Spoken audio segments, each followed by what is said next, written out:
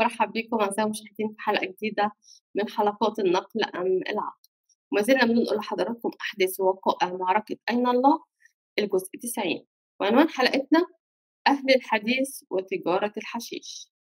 شفنا في الحلقة اللي فاتت إزاي ابن حجر العسقلاني طعن في ابن تيمية وإزاي الشيخ عبد الرحمن الحجي طعن في أبو حسن الأشعري وأبو حنيفة. النهاردة هنشوف إزاي علي جمعة بيطعن في الدارمي. وعلماء كمان آخرين ونشوف أول فيديو. لقد جلست أقرأ كتاب رد الدارمي بن سعيد على بشر المري- المريسي العنيد. حتى وصلت إلى صفحة مئة فانتابتني كآبة. وكنت قد حان العصر فجئت أصلي فشوشت علي صلاتي والأمر جلل. أو كأنهم يعبدون الأوثان. إنهم يصفون الله سبحانه وتعالى وصف الكائنات. حتى قال في صفحة تسعين إن الله عندما يجلس على العرش جل جلاله فإن العرش يهتز من تحته ويسمع له أطيط. أزيز يا لطيف يا رب. ثم يقول المجرم يسمع له أطيط كما لو وضعت آكام الحجارة فوقه. شبه ربنا بالحجارة. أبرزوا عقائدكم أيها السفلة. أبرزوا عقائدكم. وزي ما شفنا الدكتور علي جمعة وهو المفتي السابق إنه أصيب بال- بالكآبة يعني جاله اكتئاب لأنه كان بيقرأ في كتاب الدارمي وهو بيرد على بشر المريسي من كتر ما اتضايق يعني شوشت عليه صلاته. وقال يعني إنهم بيعبدوا الأوثان وإنهم يصفون الله وصف الكائنات. حتى قال في صفحة رقم 90 إن الله عندما يجلس على العرش جل جلاله فإن العرش يهتز من تحته ويسمع له أطيط وإنهم شبهوا الله بالحجارة. وبعد كده يعني أنا آسفة إن هو قاعد يشتم في السلفيين وبيقول لهم ابرزوا عقائدكم أيها السفلة. وخليني أوريكم مين هو الدارمي اللي قاعد يشتم فيه علي جمعة الدارمي هو الحافظ أبو سعيد تميمي الدارمي السجستاني ولد في مدينة هراء بخراسان آه، سنة 200 هجريا أو سنة 815 ميلادية. والذهبي قال عنه إن فاق أهل زمانه كان لهجا بالسنة بصيرا بالمناظرة.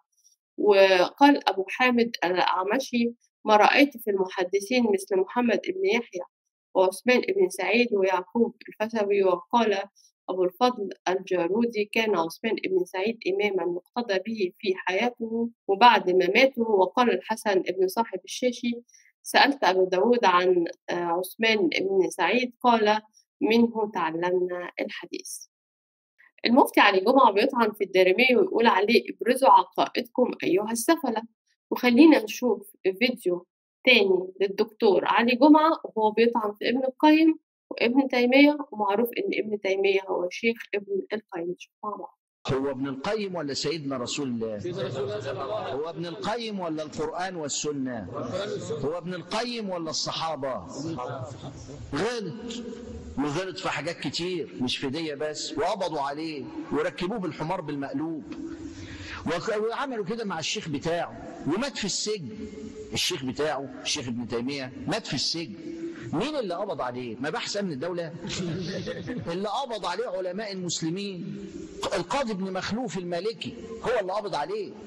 الشرع الشريف اللي قبض عليه.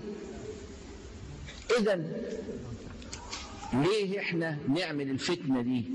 قلقانين حيرانين. حتى لو كان القلب دفيان بس يا عيني حيران. فما نخرج من الحيرة ونمشي على نمط واحد. الكتاب والسنة وفعل السلف الصالح.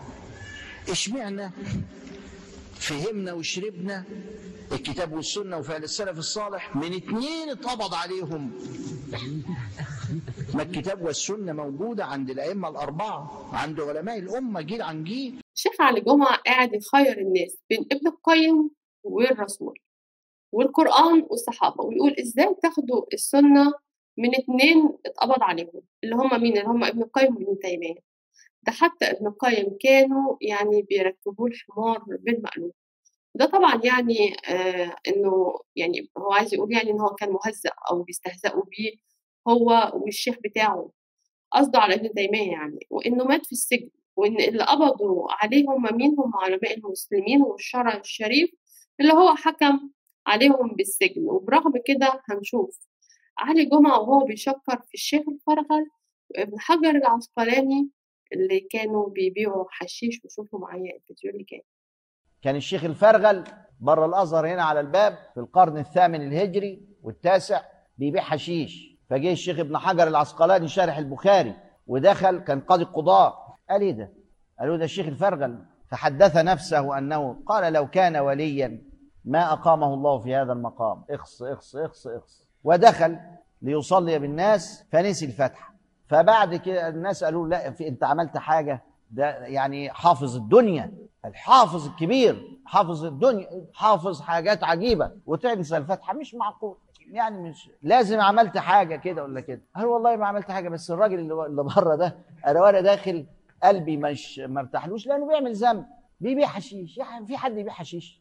زي ما شفتوا الشيخ علي جمعة آه إن يعني إن كان في بره الأزهر يعني يا جماعة خلي بالكم أخوة المسلمين إن بره الأزهر كان في نصبة حشيش يعني حاجة دي يعني كلام لا يصدق بصراحة يعني بره الجامع بره الأزهر منارة الإسلام نصبة فيها حشيش. واللي قاعد عليها مين؟ الشيخ الفرغل. والشيخ الفرغل ده كان قاضي القضاء يعني إيه؟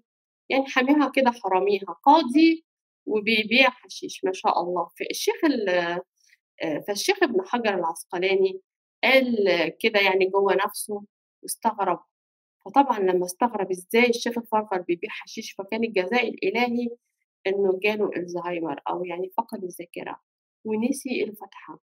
قالوا أنت عملت إيه؟ خلينا نكمل نشوف ابن حجر عمل إيه في الفيديو اللي جاي.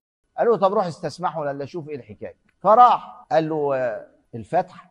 قال له فتشني. أنا خدت منك حاجة فتحة إيه؟ قال له مش كده ده أنا قاضي القضاه وبأم الناس وأنا الحافظ وكده مش كده. اختش ما تبقاش كده. قال له تب إلى الله. في حد قال لك تتريق على على خلق الله؟ الدين قال لك كده؟ وأنت داخل تتريق على خلق الله؟ قال له ما أنت بتبيع حشيش يا مولانا الشيخ الفرغل ما هو برضه حاجة تخيل قال له طب اقعد بيع معايا. قعد الحافظ ابن حجر جنبيه يبيع معاه. وبعدين قاضي القضاء خد قال له شوف أي واحد اختاره وشوفه هو بياخد حتة الحشيش مني إيه اللي بيحصل؟ فاختار واحد كده ومشي وراه. شرب الحشيش اتآية وبطله. قال له يا حبيبي أنا هنا اديلي بتاع 20 سنة ما حدش خد مني حشيشاية ورجع ليها تاني ابدا. قاضي القضاء بيبيع حشيش للمسلمين. عشرين سنة تاجر حشيش. وابن حجر العسقلاني اشتغل عنده صبي. علشان يعلمه إزاي يبيع الحشيش. اللي بيخلي الناس تبطل شرب الحشيش ياخد الحشيشة من هنا يرجع من هنا ويتوب بعدها. وخلينا كمان نشوف مع بعض الفيديو اللي جاي. أصل دول ما كانوش أشعرية والباقي كان أشعري. والمين؟ والباقي. الإيه؟ الباقي كله كان أشعري. يعني كلنا كده أشعرية وفي واحد مش أشعري. يبقى مين اللي غلطان؟ إذا رأيتم اختلافا فعليكم بالسواد الأعظم ومن شذ شذ في النار. أخرجه ابن ماجه. أيوه بس الشيخ بتاعنا قال لنا حاجة تانية غير كده. مين الشيخ بتاعك؟ حسونة. حسونة مين؟ مين حسونة؟ خد إيه حسونة طب درس على مين حسونة؟ درس على أخ برضه. اسمه إيه الأخ؟ حسنين.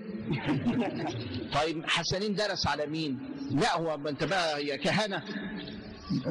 درس وقروا. وهكذا. إيه رأيك سخيفة؟ وشكلها سخيف إن إحنا نرد الكتاب والسنة بمثل هذه الترهات. يا أخي الكتاب والسنة والسلف الصالح كانوا كده. فلماذا لا تمتثلون للكتاب والسنة بترهات تملؤون بها أذهانكم؟ وتكون حجابا بينكم وبين ربكم. ما هو ده الحاجة المحيرة. لأن ابن القيم يقول طب ما هو غيره قال وغيره كتير واللي قالوا مردود عليه بالكتاب والسنة. كلام غير مفهوم. كلام مردود وتافه وبسيط ومضحك. ابن القيم أيوه يا أخي. أخطاء الكبار كبار. أيوه زلت عاد أيوه أنت هتمشي ورا ابن القيم وما تمشيش ورا سيدك رسول الله. ده إيه الغم ده؟ أنت تمشي ورا ابن القيم وما تمشيش ورا جمهور الأمة. تمشي ورا كلمة هنا وهناك وما تمشيش ورا النور. وزي ما شفنا الشيخ الدكتور علي جمعة قاعد يتريق على أسماء الشيوخ ويقول الشيخ حسونة وحسنين وقال حتى لو ابن القيم قال حاجة مش معنى كده إنك تصدقه لأن أخطاء الكبار كبار ما تمشيش وراه وأنا هختم كلامي في حلقة النهاردة برضو بقول ابن عباس خذوا العلم حيث وجدتم ولا تقبلوا قول الفقهاء بعضهم على بعض فإنهم يتغيرون تغاير التيوس في الزريبة. وأنا هعزم كل واحد مسلم بيسمع الحلقات ومحتار يختار عقيدة مين؟ ويصدق مين؟ ويكذب مين؟ دعوة إنك تفكر يا مسلم وإلى اللقاء في الحلقة القادمة. لو سقطت مصادرنا الأصلية اللي هي كتب السنة فهذا أعظم بألف درجة من أن تسقط أراضينا. ما أنت هترد بعقلك ونقبل بعقله وده يرد بعقله وده ينكر بعقله. يبقى الدين يبقى ولعوبه بين عقول